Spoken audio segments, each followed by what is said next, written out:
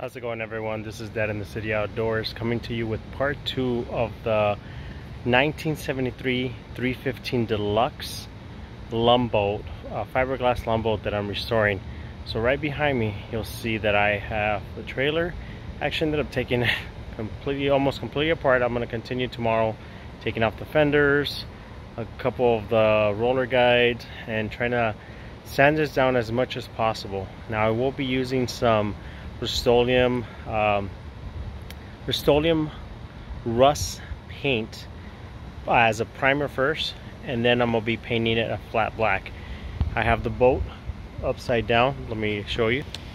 Have my brother-in-law come and help me out we turn it upside down. I actually want to get a couple of these you know fiberglass repairs on the hull. You know what for being a 1973 boat you know it doesn't have too much damage you know but I do want to get as much of this patched up as possible.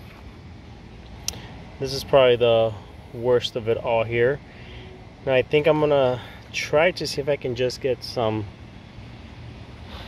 a Bondo fiberglass filler for there here and here and then that should be able to hopefully take care of all these little things so I can paint it.